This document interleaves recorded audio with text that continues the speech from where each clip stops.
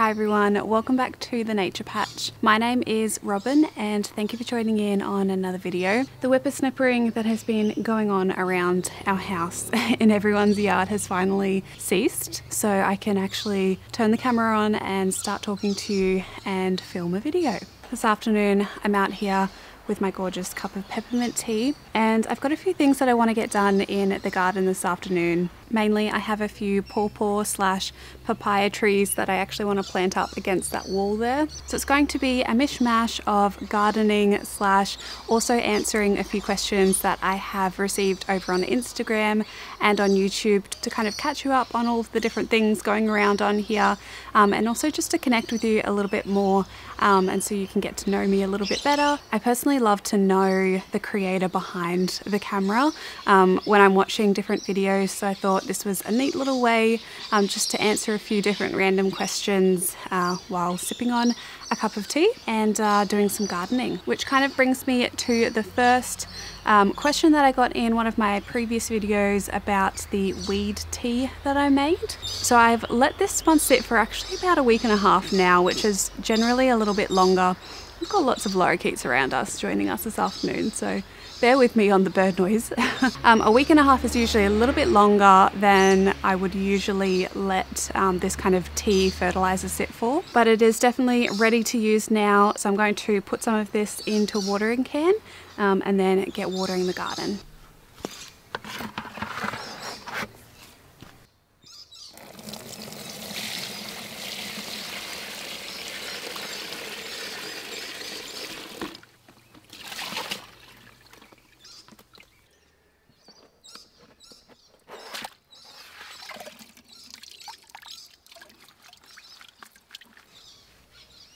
Right, so as you just saw, I strained the weed tea into this blue bucket here. Basically what this is, is a nitrogen rich fertilizer.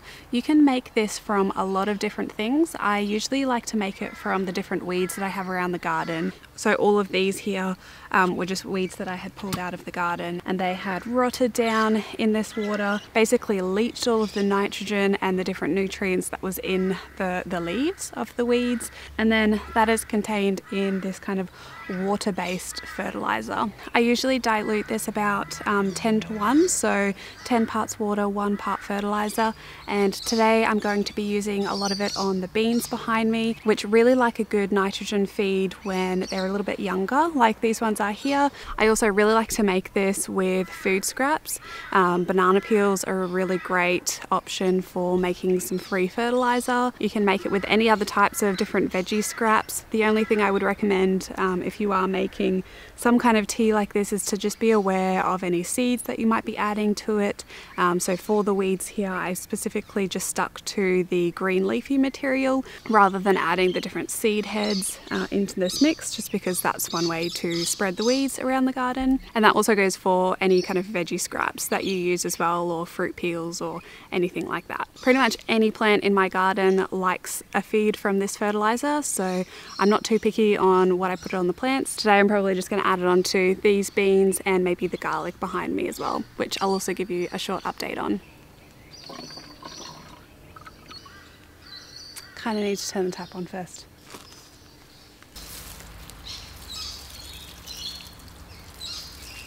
So I'm sitting very close to an awesome garden win and a uh, garden fail.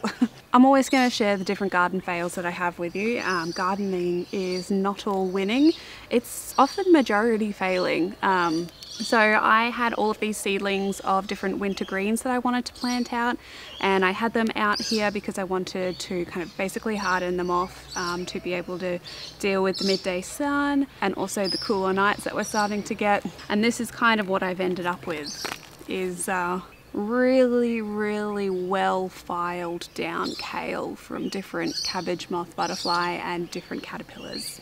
It's definitely not ideal, but thankfully the win that I am having is that my elephant garlic has finally popped up. It was quite a long wait for it to actually come up um, and I did have some different fungus also popping up, which is actually called dog's vomit fungus or dog's vomit fungi, whatever you want to call it. That's kind of showing that, um, that the soil is building in this environment, but I thought it may have affected the elephant garlic Um, but I can see five that have popped up, which is super exciting to see.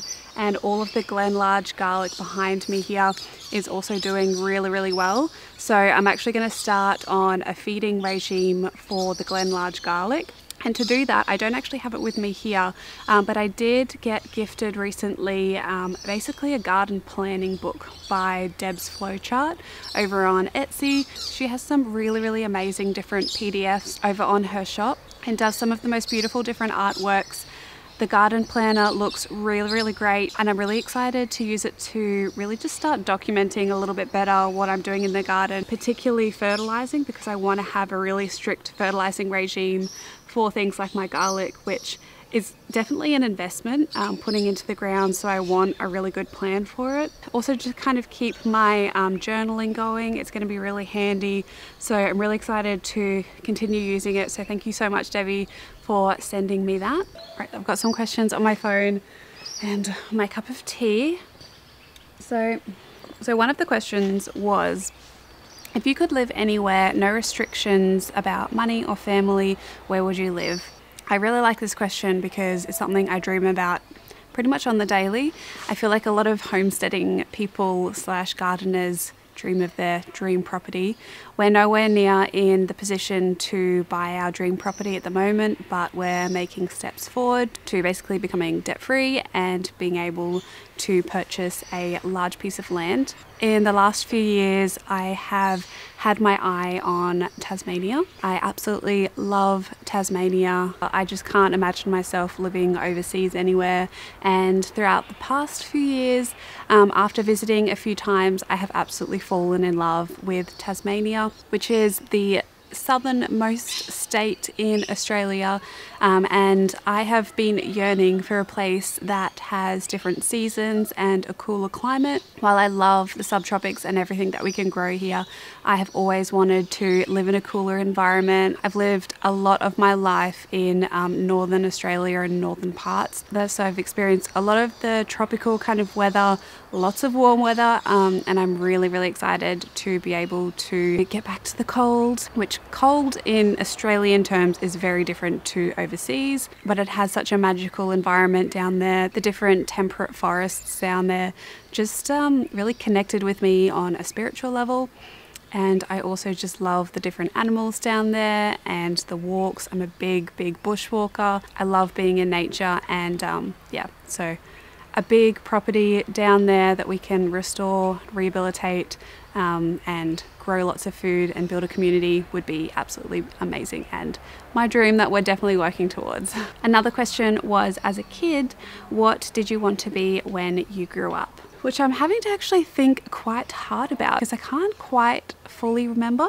But as a kid, I was always interested in the outdoors and I was always interested in geography and earth science, even back in primary school. I still remember in primary school being the leader of all of the different worm farms at school and always being involved in gardening, um, permaculture, I suppose. So I always kind of wanted to be an environmental scientist slash environmental manager, um, educator, which is basically what I'm doing right now. So I'm almost finished my PhD research project. So, so on the way to having that doctor title in front of my name, not a medical doctor, but doctor of the philosophy of environmental science, I suppose. Um, and my passion is sharing knowledge about nature, about connecting to nature, what it can do for our mental and physical health, and really bridging that gap between people and nature that so many people crave that connection. So a lot of my work has been revolved around that um, and the impact that taking out uh, natural areas such as on mining sites has on people which it has a big impact. So understanding not only how it impacts biodiversity, but how people use the land and if we can return that post mining has just been such an interesting question that I have pondered about for so long and hence ended up doing a PhD on it my parents are both geographers as well, uh, so I kind of grew up in that sphere of nature and learning about nature. And um, yep, it's kind of all I've ever wanted to do and, uh, and what my passion is. Right, so I'm coming to you from the future of all of the other clips to this video. I wanted to add in here um, some of the questions and answers that I got on YouTube. The first question I got over there was what my favourite gardening books are. And that's a kind of tricky question because I don't actually read a lot of gardening books. I'm a very visual learner, so I really love watching videos um, and YouTube videos to learn different things. So, YouTube is usually where I learn things about the garden and um, permaculture. So, I don't actually have a lot of gardening books. The ones that I do use are generally field guides or animal guides to understand the animals in my area. So, I have a few different kind of animal ID books that I use and plant ID books. Um, and I also really like reading a lot of novels that are related to gardening and people's experiences with permaculture and nature connections. Um, but in terms of actual kind of practical gardening books, I don't actually read a lot, which I would love to. So if you do have any recommendations, um, definitely let me know and I will slowly expand my um, gardening book collection. Another question I got was what are you planning on doing with your qualifications? More research? And the person who asked this, Luke, is a second year bioscience student. So with my PhD, I'll be finishing up pretty soon, hopefully, fingers crossed. And I would like to finish up kind of mid year and start to publish a lot of the chapters that I've written in what is going to be basically a book of research and science. Following on from that, I have kind of secured some work to do a postdoctorate, which is kind of the step after um, once you finish your PhD is to just continue doing research as a research fellow. So I'm kind of in the process of securing that, which will basically mean that I continue a lot of the work that I'm doing now, except I run a lot of the projects. So I'll be running a group of people doing field work, um, doing plant analysis and plant surveys up at Cape York. Also working on some really big Indigenous protected area management projects. So I have a lot of things lined up that continue on with the work that I'm doing now. In, and in the future, I would just always like to be involved with the people that I'm working with up at Cape York and Arnhem Land as well, lots of different communities in the Northern Territory too, and participate in a lot of different big discussions that are happening in terms of developing Northern Australia, uh, working alongside Indigenous communities. There's definitely a lot to do in that sphere of work, um, doing environmental management and working with Indigenous people, which is just my passion. And yeah, I just love the bunch of people I'm working with. So hoping to continue doing that. And Diane and Samson also asked a few questions. The first question is uh, What's some advice that you'd give to those scared to take the first step in starting a garden?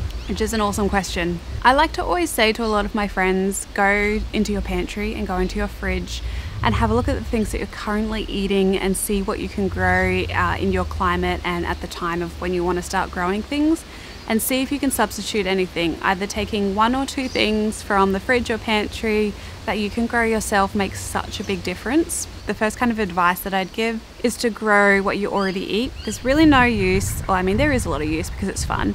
Um, growing things that you're that you have never eaten before or that you're a little unsure of. But things like herbs and uh, like things like snow peas and beans, beetroot, um, some of those kind of more basic vegetables that are generally a staple, I definitely recommend starting with those, and herbs is a great one. The other advice I would give is just start, just just plant something.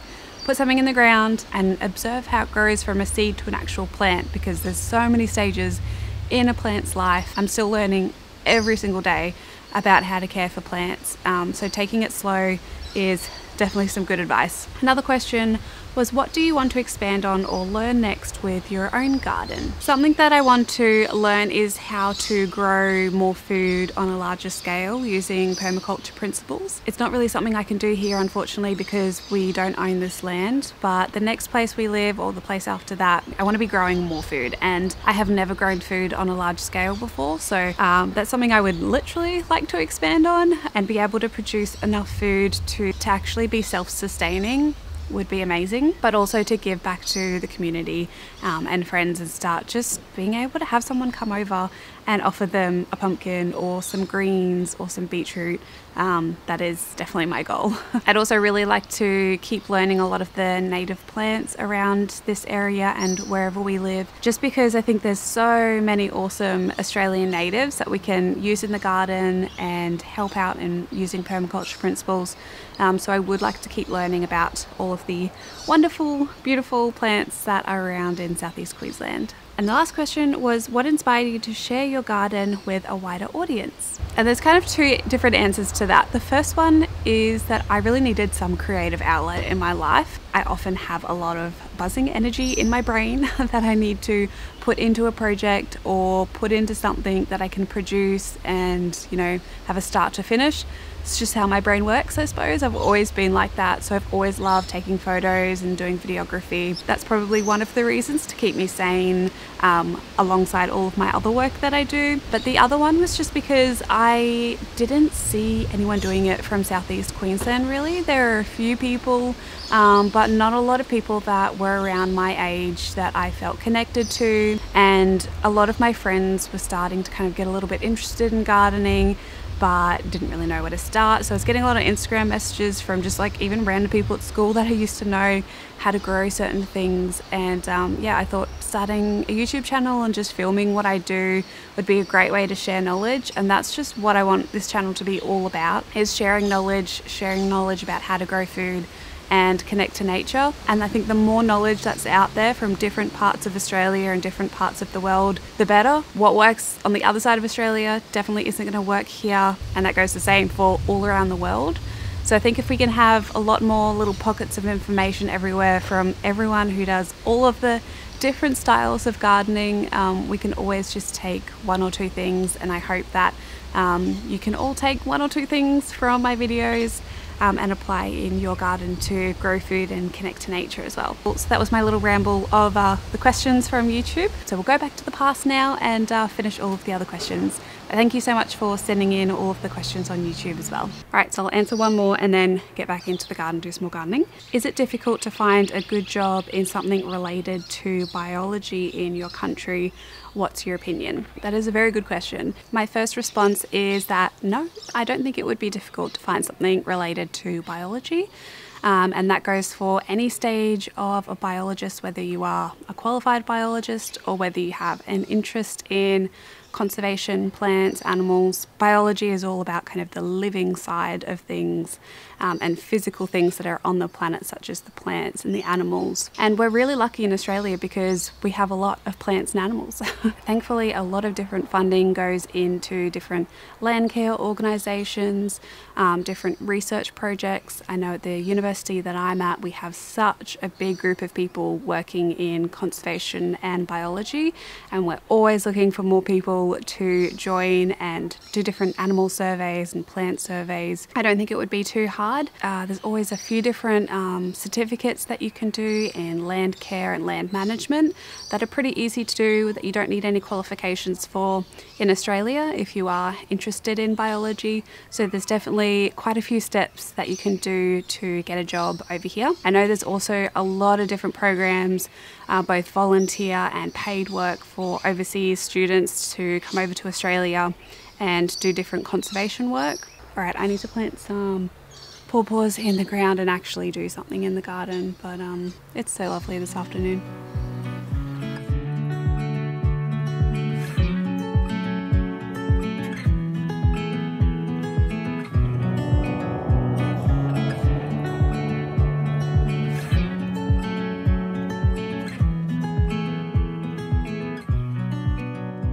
Right, so I've done four holes for the four pawpaws.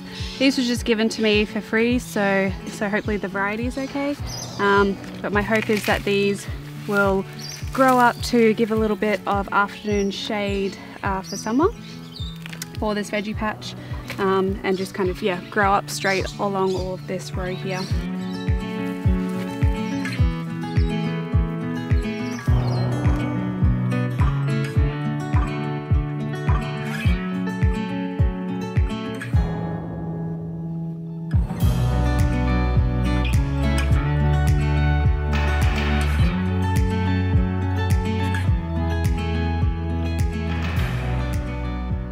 Right, so that is all of those planted. I also have um, the compost bin still here. That is my in-ground fertilizer, I suppose. Um, and the compost in there is almost done. So when that is done, I'm basically just going to be lifting it off and then spreading the compost out all in this bed here. So that's what I'm going to use to um, provide a lot of organic matter and mulch for these pawpaw trees. Hopefully they will like that little addition. But yeah, this uh, side of the garden is definitely filling up. This is turning into a long kind of garden tour slash ramble. But one of the other things I did plant was quite a lot of basil in this area that I'll show you. So I really wanted a lot more basil. Um, pesto pasta is probably one of my favorite dishes ever. Um, so I just planted um, a nice little clump here just to use up kind of the square meter gaps I suppose that I have in the garden. Um, I don't want any space in this garden. I want to be growing as much food as I can at all of the different levels that I always like to talk about. So this is going to be a nice little ground cover here that I've just mulched with a little bit of pigeon pea. Um, so yeah, hopefully this basil does okay. I will probably feed it some of the weed tea as well just to get it kick-started. Back where we started for the end of the video. And I hope you don't mind that this is a little different to some of my other videos. Like I've said in previous ones, it is really hard for me to sit down and film and edit and do all the things that are associated with making videos, but it's something that I love and connecting with actual people online about gardening that enjoy watching this content just brings me so much joy. So, you know, my channel is definitely a mixed bag of content, but, um, but yeah, thank you for rolling with that. um, oh, they're having the biggest bonfire over there and it looks so fun. Might have to set up a little fire pit around here soon. So the last question that I'll answer is what are some of your life dreams slash goals that you have? When I talk about goals and dreams, I always just think of Jess from Roots and Refuge who really inspired me to think about my goals and my dreams whenever I watch a lot of their videos. Her videos just make me so happy and inspire me so much. And one of my goals is to do that for other people and to help inspire people to connect to their surroundings, connect to their natural environment, and also to use gardening as a tool to do that as well and using nature as a tool to garden. Inspiring people to do that and to grow their own food is one of my main goals in life. I've recently been going through a lot of transitions of what I do want in my life, what I actually value, my different beliefs and things like that. Um, and a lot of those don't really revolve around material possessions, money, and things. They really revolve around people and community and building that and building friendships, which is something that I am kind of lacking in my life at the moment and would really like to work on that. And so, my goal, like Jess on Roots and Refuge Farm, um, is actually to have some kind of centre or a um, open garden where people can come and learn I would love to have a property one day where people can either come and camp to or stay there, or we can host different events, all about things such as permaculture and connecting to nature, and really just the basics of that connection between people and our environment. So having some kind of public space where, where we can share and um, you know provide that inspiration is one of my life goals. and YouTube right now is kind of the pathway for me to be able to start that journey and start inspiring people, but also just to learn from others. I don't want the space where we have eventually to just be a space where we inspire. I want it to be a space where we can learn and where everyone else can learn um, about growing food and about nature and just how special it is. So it's big goals. Um, it'll take a long time, but I know it will eventually happen where we can have a beautiful property um, to do all of this. One day it'll happen, but for now, I am a PhD researcher doing my research, um, which I would also like to continue throughout my lifetime as well. Um, and each and every day, yeah, trying to get a little bit closer to that goal that we have something I would absolutely love to know if you have made it this far is what your goals are um, in terms of gardening and homesteading, just because that is kind of the theme of my channel. And I would love to know where you want to take uh, your passion for gardening and homesteading, whether it's just providing more food for your family and friends, or whether you want to start a YouTube channel and share it with hundreds of random people online. who are all absolutely lovely, I would like to say. Yeah, let me know down in the comment section down below. What an afternoon, what a video. Lots going on around me. The birds have kept me company, that's for sure. I'm to wrap it up here. I hope you're all having a lovely day wherever you are in the world. Thank you so much for sending in some of the questions. It was really fun answering them. And if you do have any more questions, just leave them in the comment section below. I would love to do another video like this as well for um, us to all kind of get to know each other a little bit better. Thank you so much for watching and until my next video, happy gardening everyone. Bye.